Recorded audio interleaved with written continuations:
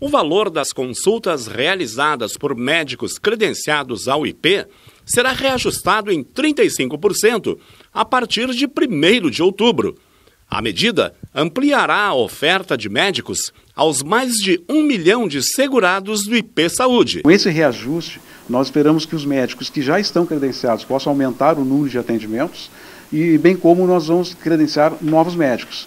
É, já na semana passada credenciamos mais de 70 médicos e continuamos abertos com processos para que novos médicos sejam incorporados. Médicos habilitados como pessoa jurídica recebiam 68 reais por consulta.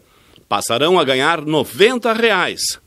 Os habilitados como pessoa física recebiam 47 reais. Irão ganhar 62 reais por consulta. Aos segurados, não há aumento da contribuição ao IP Saúde. Ela continua sendo de 3,1% do seu salário.